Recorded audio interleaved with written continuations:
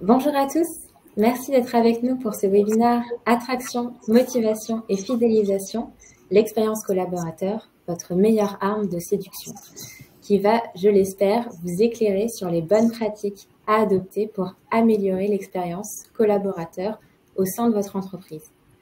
Je suis Flora Brousse, Product Marketing Manager chez Cégide et spécialiste de la gestion des talents. Et aujourd'hui, pour aborder ce sujet, je serai accompagnée de Célia Lococo, qui est responsable de mission pour le DMU Care. Euh, bonjour Célia, merci d'être avec nous. Bonjour, merci. Célia va nous partager son expérience et aussi les bonnes pratiques qu'elle a pu mettre en place au sein de son organisation autour de l'expérience collaborateur. Et je serai aussi accompagnée de Thomas Cornet, qui est le cofondateur de la solution Cégide notre solution Cégide dédiée à l'expérience collaborateur et à son amélioration. Bonjour Thomas. Bonjour Flora, bonjour Célia, ravi d'être avec vous. Avant de commencer ce webinaire, euh, si vous avez des questions et si vous souhaitez les partager au cours de notre intervention, euh, je vous invite à les poser directement dans le chat, dans l'onglet questions. Et on va commencer. Alors, avant d'entrer dans le vif du sujet, j'aimerais rapidement vous présenter Cégide pour ceux d'entre vous qui ne nous connaissent pas. Alors, Cégide, en quelques chiffres, c'est un des plus grands éditeurs de solutions en France, avec une étendue globale, euh, plus de 4400 collaborateurs répartis dans 22 pays. Euh, nos solutions dédiées aux ressources humaines, aujourd'hui, elles sont déployées dans plus de 130 pays, avec plus de 11 millions d'utilisateurs. Et au-delà des chiffres, Cégide est unanimement reconnu par les analystes euh, spécialisés euh, dans les solutions de ressources humaines comme un des acteurs incontournables dans le domaine des solutions de la gestion euh, des ressources humaines. Et donc, fort de cette position avantageuse, Cégide aujourd'hui vous accompagne bah, sur tous les leviers qui construisent l'expérience collaborateur interne, en commençant dès la première étape, dès la première interaction entre vous et vos futurs collaborateurs lors de la phase de recrutement, jusqu'à la gestion de la formation qui va vous permettre de développer euh, vos collaborateurs et leurs compétences au sein de l'entreprise en leur proposant des parcours de formation sur mesure. Spécifiquement pour ce webinaire, pour euh, ce temps ensemble, nous allons faire un zoom sur la partie expérience collaborateur Aujourd'hui, l'expérience collaborateur, c'est un des sujets prioritaires pour de nombreux responsables euh, des ressources humaines parce que ce sujet, il a une importance primordiale et il est au cœur de nombreuses problématiques d'entreprise, euh, telles que le bien-être, avec la qualité de vie au travail, des problématiques aussi légales, telles que la gestion des risques psychosociaux, mais aussi cela peut jouer sur des problématiques stratégiques pour l'entreprise, comme l'attractivité euh, pour euh, l'attraction de, nouveaux talents, euh, votre marque employeur et la rétention des collaborateurs au sein de votre entreprise. Enfin, l'expérience collaborateur, c'est aussi un levier central sur la motivation au travail, la motivation de vos collaborateurs qui a des conséquences directes sur la performance de votre entreprise.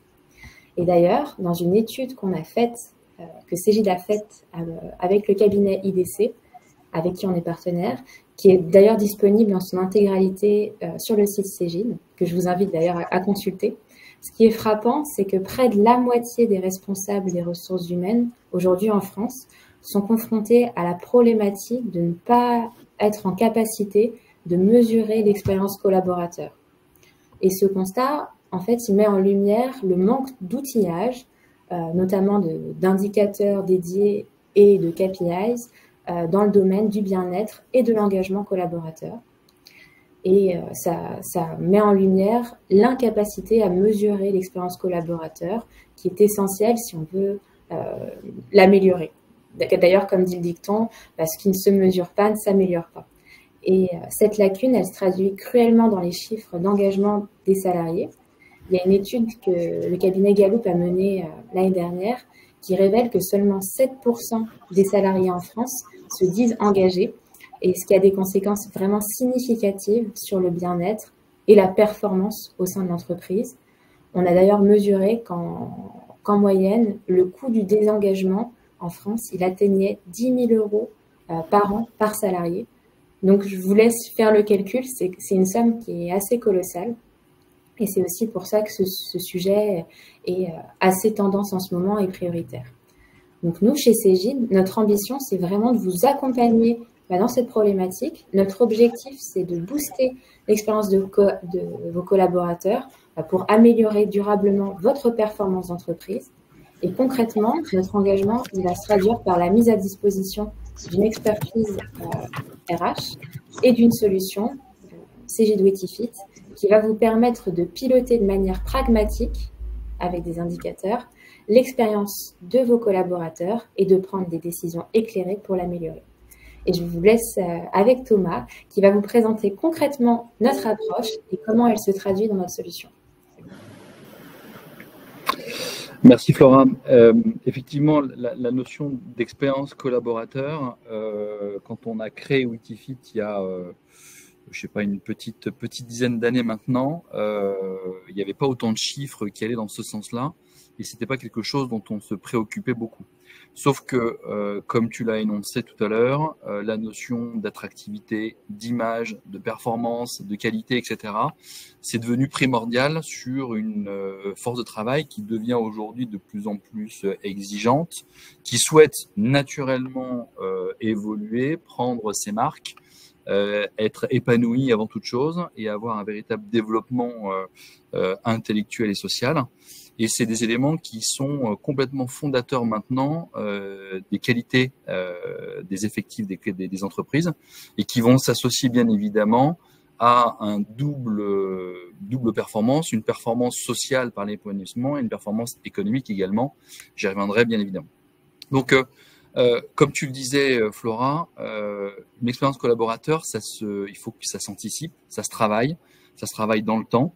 Et il faut pour ça euh, pouvoir être en capacité de l'évaluer, bien évidemment, de pouvoir la comprendre par une notion d'analyse et de, et de diagnostic sur ces sujets-là. Et puis, euh, il est crucial aujourd'hui euh, d'agir. C'est-à-dire que euh, on constate encore quand même à beaucoup d'endroits qu'il y a un, une nombre d'interactions et de captations de feedback des collaborateurs qui est assez euh, importante. Et pourtant, euh, l'action derrière est assez, euh, est assez fine, assez minime. Et euh, pourtant, c'est ça qui va euh, entraîner le rouage de pouvoir rendre pérenne cette, cette notion de se dire je construis mon élément d'expérience collaborateur. Et sans avoir à lancer un énorme plan Marshall, c'est de rentrer par petites touches, par, petites, par petits sujets, sur des endroits qui sont concrets, qui sont euh, d'abord des, grains de sable, des épines, euh, ou plus euh, dans la chaussure des, des différentes collaborateurs, collaboratrices de l'entreprise, pour montrer qu'effectivement, s'occuper de leur de leur quotidien va être une source une source de d'épanouissement et de performance. Alors pour, pour ce faire, effectivement, on a développé une, une plateforme euh, digitale de captation de cette notion de feedback. Et comme on le promeut, bien évidemment, elle va faire à la fois une, une captation, donc c'est ce que vous voyez dans la pyramide inversée euh, de, sur, la, sur la gauche, c'est-à-dire qu'on on va capter d'abord une conséquence et on va l'objectiver pour comprendre petit à petit quelles sont les causes profondes qui génèrent cette conséquence. Grosso modo, on cherche à savoir si vous êtes satisfait, engagé, si vous adhérez à un projet, si vous êtes stressé, et si oui ou non, pourquoi Et que ça et ça marche aussi bien pour le oui que pour le non. C'est-à-dire que euh, si on n'est pas stressé, ben qu'est-ce qui, qu'est-ce quelles sont les, les, les, les, conditions de succès? Et si on l'est ou si on est euh, si on est euh, engagé, désengagé, etc. Qu'est-ce qui le fait? Et bien évidemment, le but du jeu, c'est d'avoir cette analyse-là. Mais au-delà de l'analyse, il faut ensuite avoir une, pertinence dans l'analyse. C'est-à-dire que aujourd'hui, on est capable, euh, justement, avec euh, les travaux qu'on a menés euh, conjointement et jusqu'au bout avec le CHU, et ce sont des études qui ont pris deux ans et qui ont bouclé fin d'année dernière, c'est qu'on est capable aujourd'hui d'identifier par entreprise quels sont, dans les éléments qu'on va identifier, quels sont ceux qui ont le plus d'impact sur l'indicateur de tête. Donc, sur la satisfaction, sur l'engagement, sur le stress, une stratégie, etc. L'objectif étant de gagner et du temps sur comprendre ce qui est important, et de deux, de pouvoir agir sur quelque chose qui a le plus d'impact au niveau euh, de l'entreprise. C'est ce qu'on fait. Et au travers de cette, euh, de cette analyse-là, on va pouvoir implémenter dans la solution des plans d'action. Donc, on va les matérialiser au travers de la plateforme. Et ces plans d'action vont être ensuite évalués par les collaborateurs eux-mêmes de manière à avoir euh, le retour le plus concret possible sur l'apport de valeur de l'action et de voir dans quelle mesure il a effectivement contribué à ça. Donc, comme je vous le disais, cette démarche, euh, on l'a menée euh, conjointement euh, avec le CHU de Clermont-Ferrand, ce qui nous permet régulièrement de pouvoir faire des publications de niveau international sur ce qu'on apporte et nos découvertes autour des facteurs humains et de la, gestion, le management de ces ressources, bien évidemment. intégré dans une boucle qui se veut de plus en plus vertueuse si on associe les différents modules entre eux, entre la captation, l'analyse, le module d'action. Euh, et ça, on, permet d'y aller progressivement. Et le scope qu'on va pouvoir euh, travailler autour euh, de cet expérience collaborateur, c'est effectivement l'engagement, l'absentéisme, le turnover, la QVT, les RPS et les projets de transformation au global. Donc ça, c'est aujourd'hui ce qu'on couvre dans cette plateforme. Mais bien évidemment, le, plus, le plus évident en termes de retour, euh, eh bien c'est le retour euh, d'expérience de nos, clients. C'est pour ça qu'on a, demandé, euh, et Célia a gentiment accepté de pouvoir venir témoigner. On a choisi volontairement, on a plusieurs clients, mais on a choisi volontairement Célia et le DMU Care parce que pour nous, ils représentent l'endroit où il faut agir. C'est-à-dire que on sait qu'aujourd'hui, le monde de la santé, c'est un monde chahuté. Euh, c'est un, un domaine où on a beaucoup de vocations et les gens s'engagent pas dans la santé pour rien. Ils y vont euh, euh, parce qu'ils sont convaincus d'un certain nombre de choses. Et pourtant, comme dans d'autres groupes associés, comme, comme dans des groupes associatifs, etc., on peut avoir euh, des pertes de confiance, des pertes d'envie, etc. Et il est tout aussi important de pouvoir euh, travailler sur ces sur ces sujets. Donc, il est important de le voir et d'avoir le retour concret de ce qui peut être fait grâce à grâce à leurs utilisateurs. Alors, avant de faire témoigner euh, Célia et de lui donner quelques, quelques petites questions, euh, sachez que derrière, pareil, euh, un test vaut mieux que, que d'écouter mes, mes, belles paroles, voire même celle de Célia, mais Célia, c'est peut-être mieux que moi d'ailleurs. Mais ceci dit, voilà, vous pourrez, si vous le souhaitez, tester gratuitement cette, cette plateforme.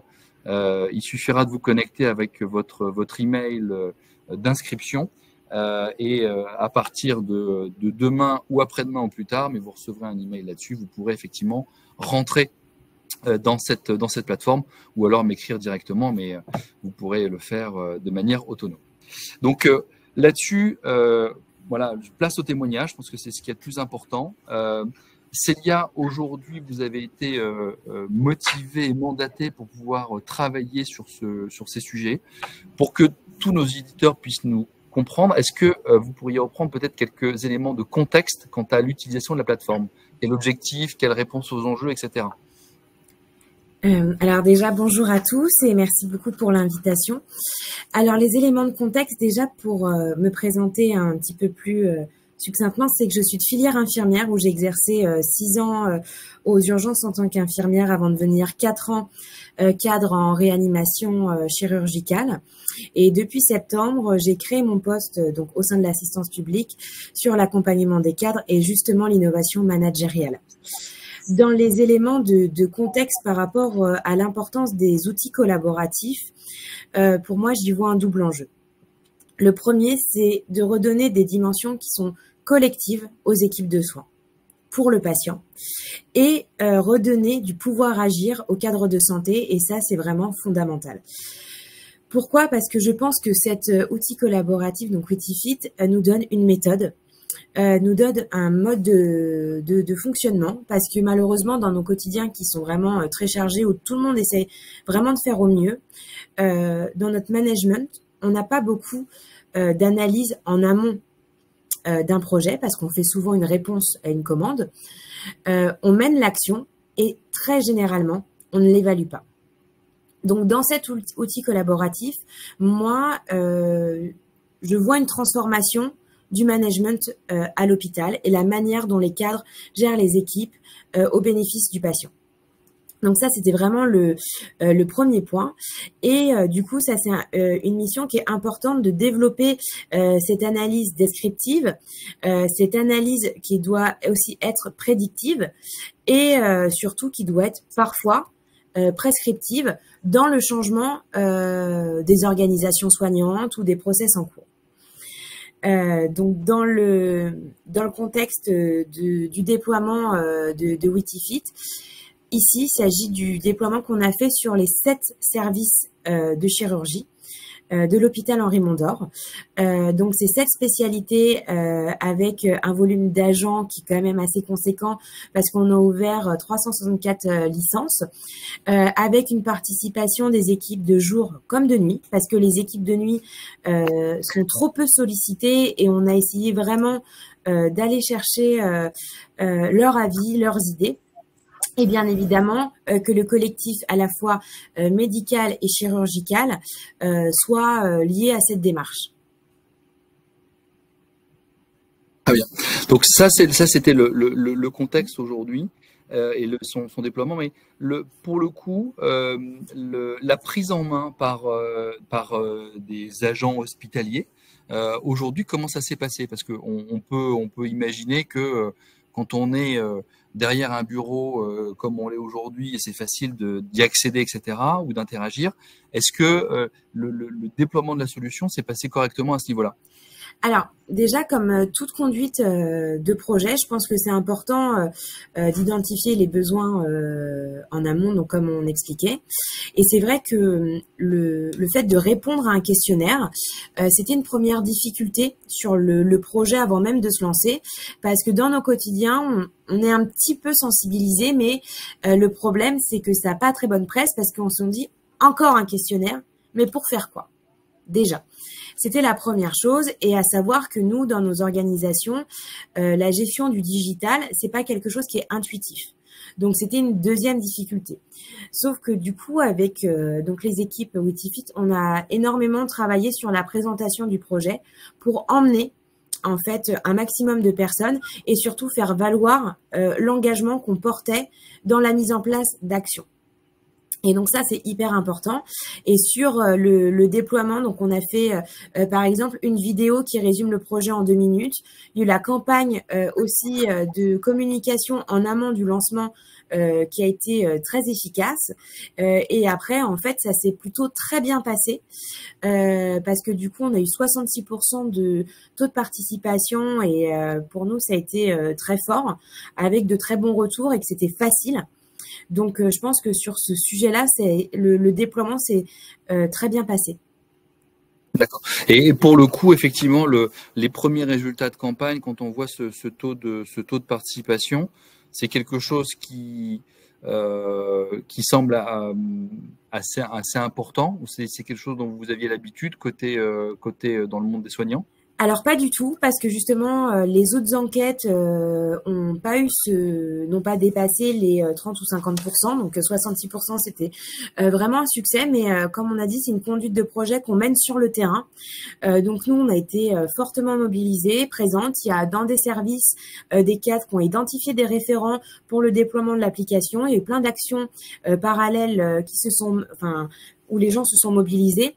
Euh, pour qu'on ait de la donnée et qu'on ait justement un plan d'action euh, au regard de quelque chose de qualité. Et euh, la chose qui a été aussi un fait marquant, c'est que les gens se sont saisis des idées. Et on avait fait le choix de que les idées soient vues et partagées de tous, donc ils ont pu se saisir de transférer l'idée d'un service à un autre et de liker. Donc comme vous voyez, il y a eu 165 idées émises et je trouve qu'elles étaient très qualitatives, très détaillées et euh, avec plein de solutions organisationnelles euh, à T0. Euh, ça ne mobilise pas forcément de financiers. ça nécessite de revoir nos process internes en réfléchissant différemment, mais ça peut être un produit livrable très rapidement. Ok. Et, pour le coup, alors ce qui, ce qui est fait le, aussi le, le, un, point majeur dans, le, dans, dans, la démarche, si on veut l'ancrer, c'est on, a vu que c'était la notion de, de, de l'action. Mhm. Aujourd'hui, comment se passe ou comment vous mettez, euh, comment vous matérialisez ce passage justement à l'action euh, très pratique par rapport à cette captation qui a été faite en amont Alors là, euh, on s'est organisé en faisant des points de restitution. Donc là, on a quasiment terminé les sept services. Donc les restitutions se font en équipe où on propose également un lien Teams pour les gens qui peuvent pas être en présentiel. Euh, pour présenter les résultats des participations en leur donnant bien évidemment la vue de leur service, mais en leur situant, en les situant à l'échelle du DMU.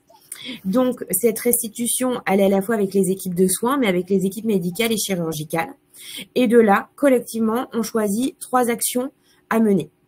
Et l'idée, c'est que donc là, on va les rentrer dans la plateforme euh, tous ensemble pour harmoniser nos pratiques, pour que celles-ci soient réévaluées pour juin. Donc les cadres, euh, du coup, ont euh, quasiment deux mois pour mettre en place les actions correctives avant qu'elles soient réévaluées et validées ou non par les équipes et ce qui permet euh, de développer une chose euh, à l'hôpital, une compétence dont on n'entend euh, jamais parler à mon sens, c'est la créativité. Et je pense que la compétence de demain aussi d'une infirmière ou d'une aide-soignante ou même d'un jeune chef, euh, d'un jeune chirurgien, c'est cette créativité-là parce que au final, euh, cet outil collaboratif, ça permet de nous décloisonner dans nos organisations habituelles et de se dire qu'avec euh, peu de moyens, on peut faire énormément de choses et avoir un impact direct sur nos organisations et c'est ça qui est formidable. finalement, qui mieux que celui qui exerce le métier, quel qu'il soit, infirmier, chirurgien ou euh, cadre administratif ou administratif euh, connaît bien son, quotidien et peut euh, participer à son amélioration. Totalement. Ok. au, niveau de, au niveau de, de ce sujet, moi j'ai vu, j'ai constaté qu'effectivement c'est devenu un, un, enjeu de plus en plus fort et qui a été traité de manière de plus en plus forte par les entreprises. Mm-hmm. Ça se, nous, ça se matérialise par le nombre de clients qu'on a. Mais moi, le point que j'aimerais évoquer avec vous, c'est est-ce que c'est un phénomène de mode et on se dit, bah, à l'hôpital comme ailleurs, euh, c'est bien d'entendre sa voix et euh, pour le coup, euh, je veux mettre en place une solution d'écoute. Et puis, j'aurais coché la case, bah aussi, je fais parler mes, agents et puis, et puis point barre. Ou est-ce que derrière, il y a une véritable démarche que vous allez chercher, que vous créez pour euh, vos enjeux à vous alors, c'est sûr que euh, de mon point de vue, encore une fois, et ça n'engage que moi, euh, je pense que effectivement il y a un effet de mode, mais où il faut lutter contre ça, parce que pour avoir fait le déploiement du projet dans notre réalité, c'est vraiment un investissement.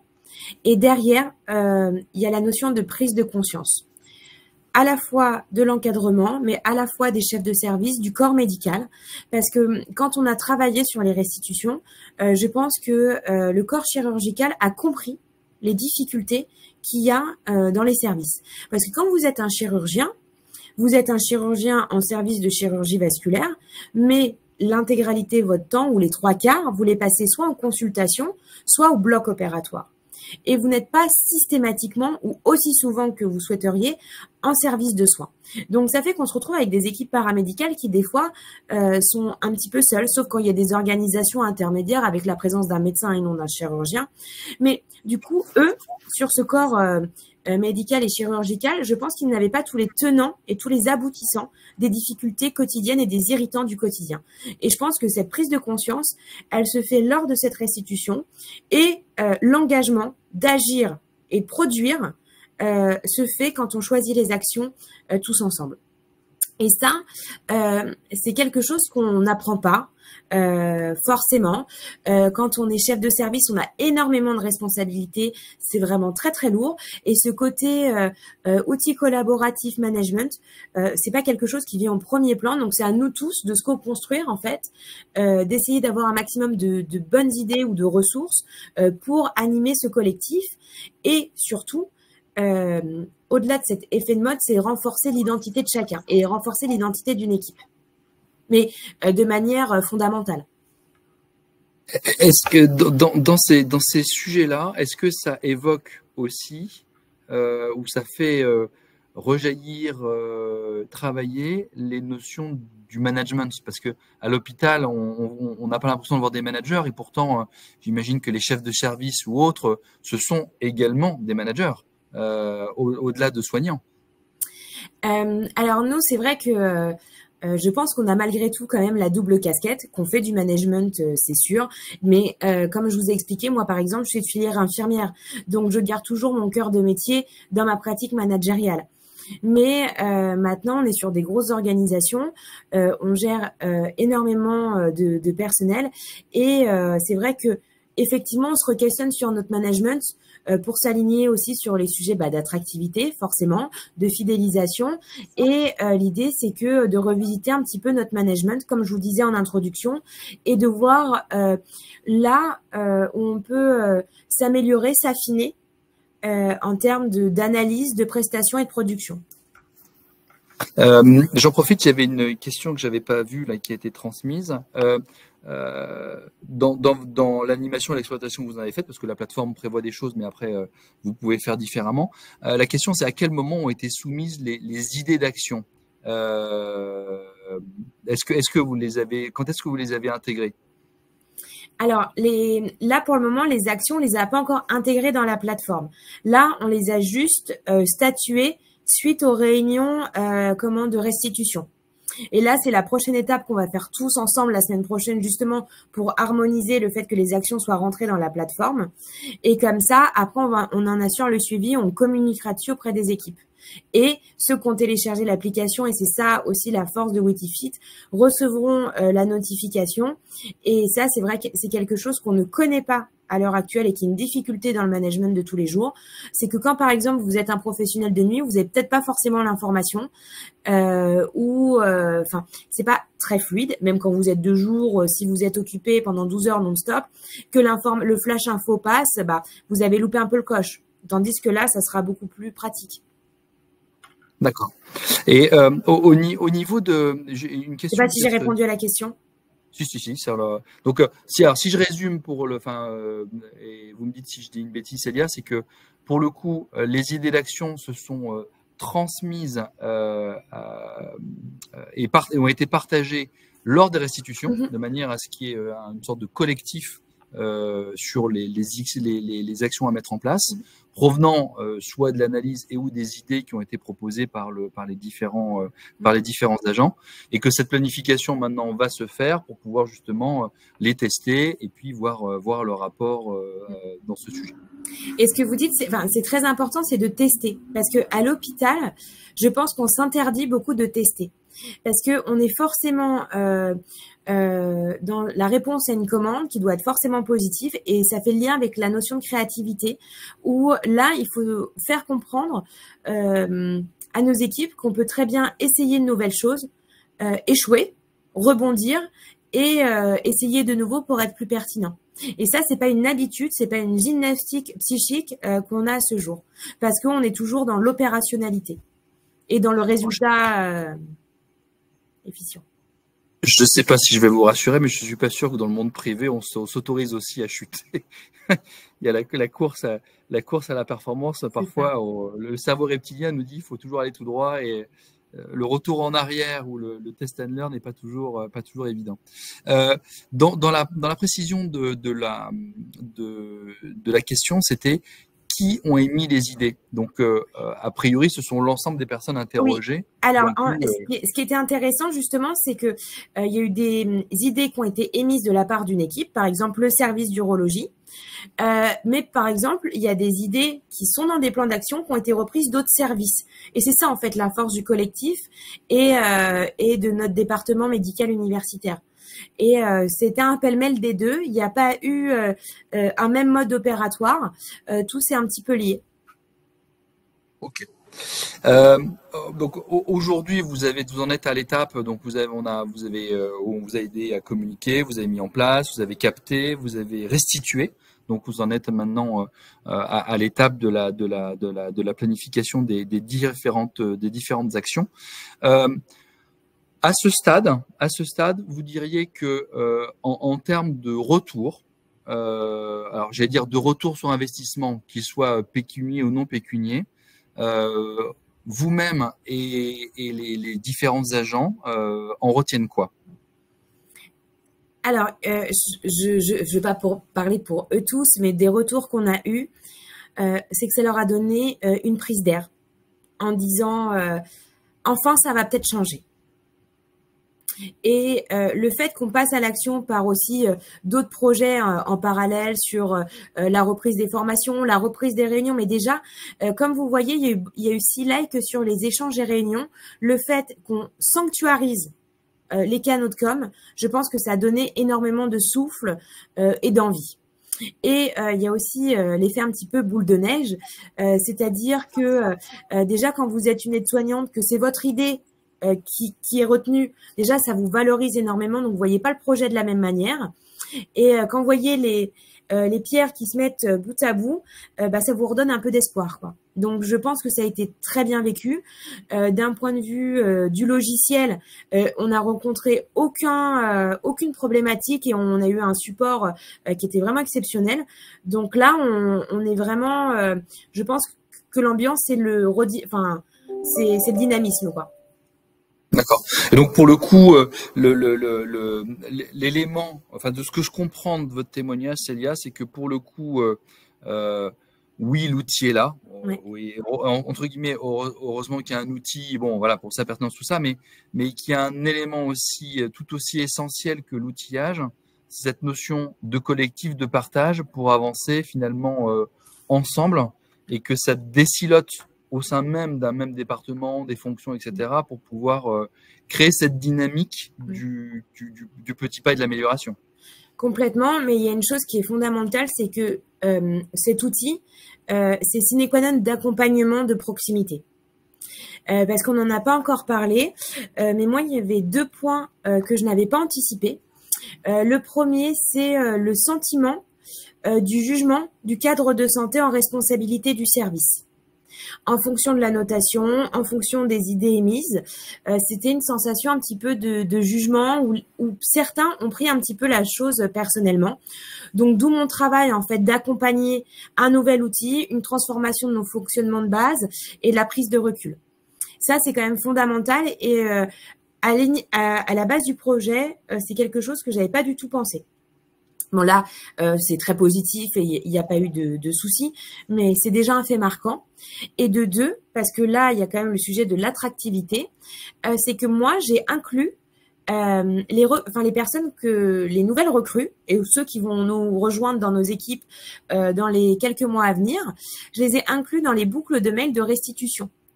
Et en fait, ça a été une forte captation euh, et un fort engagement du coup de ces personnes nouvellement euh, arrivantes parce qu'en fait elles se elles se sont dit deux choses un euh, on est transparent avec eux dans le message parce que c'est très clair, c'est très net. on leur donne des perspectives et on leur donne du concret. Et en les mettant dans la boucle avant même qu'elles arrivent, eh ben ça change leur positionnement dans leur prise de poste à venir.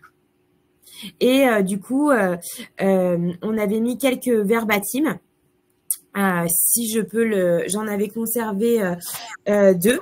Et euh, il y a une, infirmière de chirurgie donc qui est déjà diplômée, qui, a vraiment vécu l'expérience Fit, qui nous a fait un retour.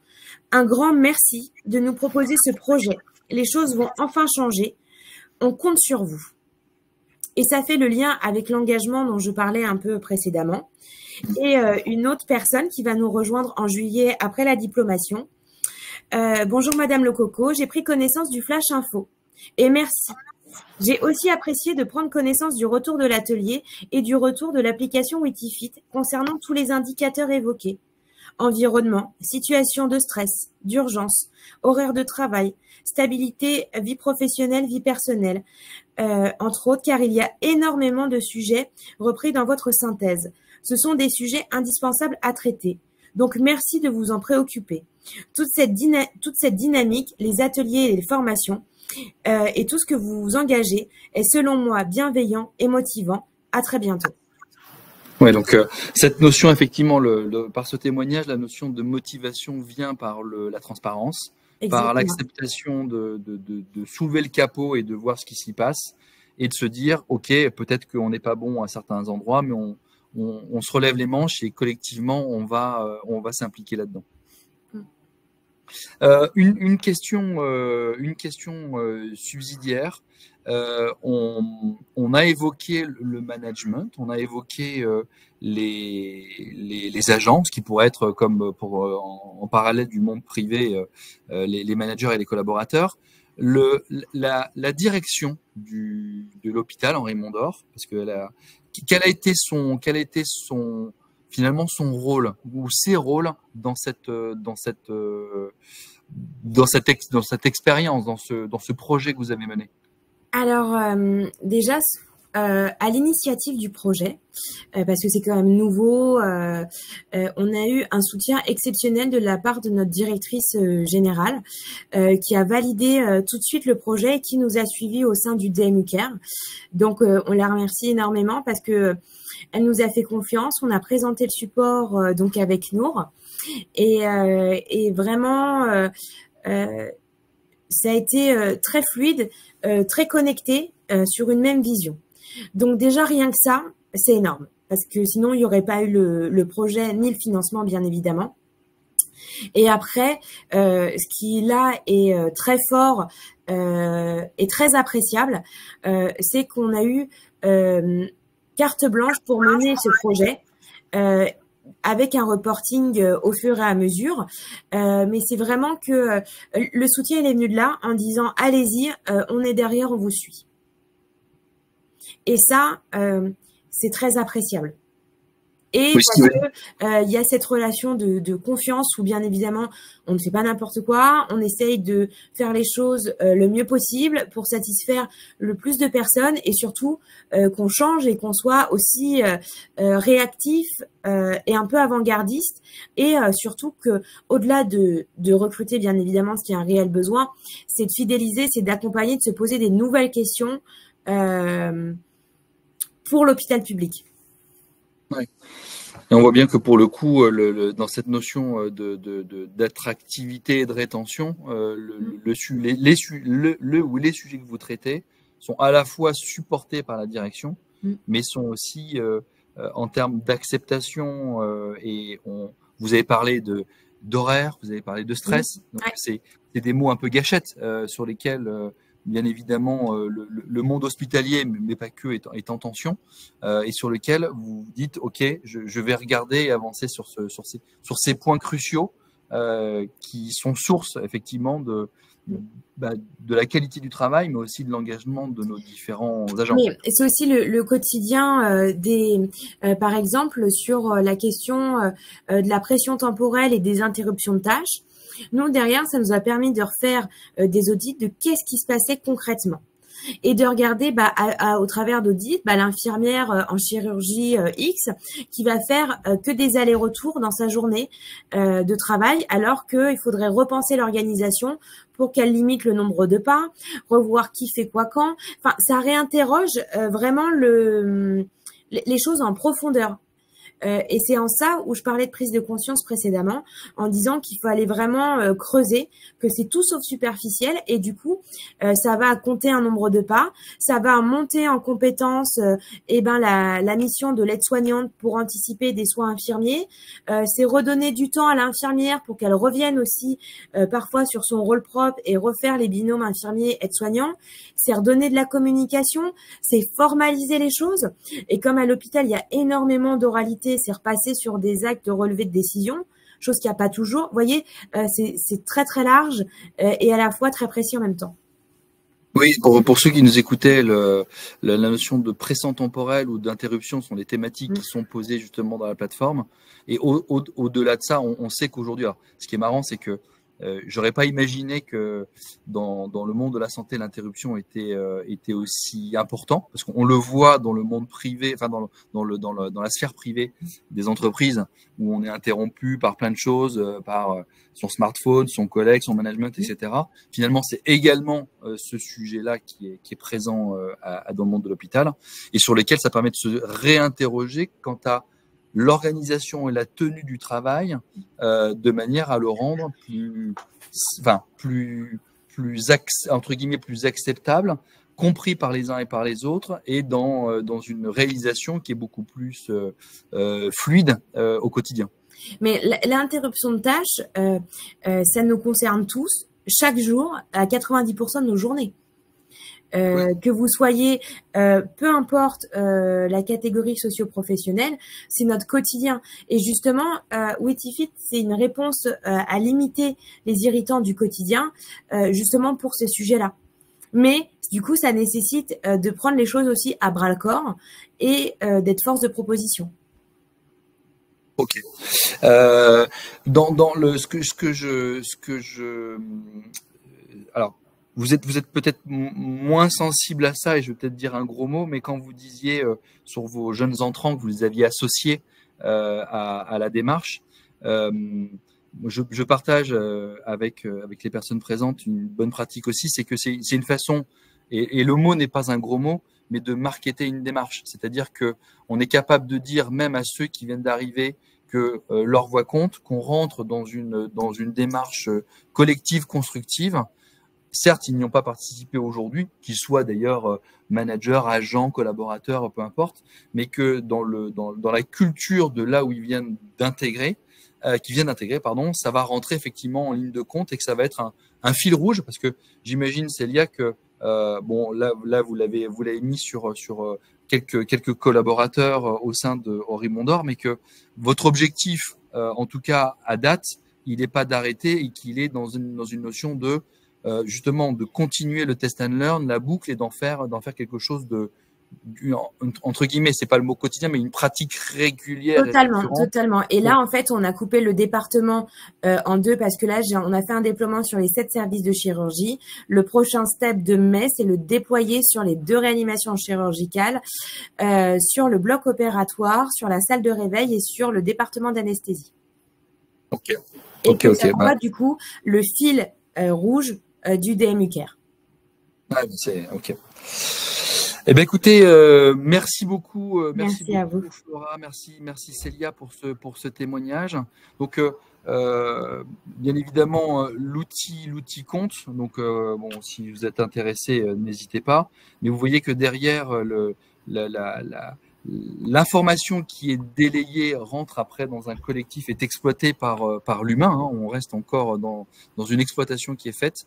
Et j'espère qu'on a pu vous donner par le témoignage de, de Célia euh, comment utiliser les bonnes informations sur les bons sujets pour euh, euh, vous amener à construire, je, je, le redis, par petites touches, par petites tâches, mais de manière régulière et récurrente, les conditions d'attractivité, d'engagement, de rétention, de sens, pour que effectivement des, des, des, agents, des collaborateurs qui vous ont rejoint à un instant T euh, et le plus longtemps possible cette flamme qui les anime et qui les ont fait venir dans votre entreprise pour, euh, pour vous donner le meilleur d'eux-mêmes euh, dans ce collectif et, et de leur équipe et de de leur entreprise. Et Thomas, on a justement une petite question sur l'outil euh, de Monsieur Ludovic Noens qui nous demande si euh, la solution est utilisable seulement sur PC ou sur smartphone.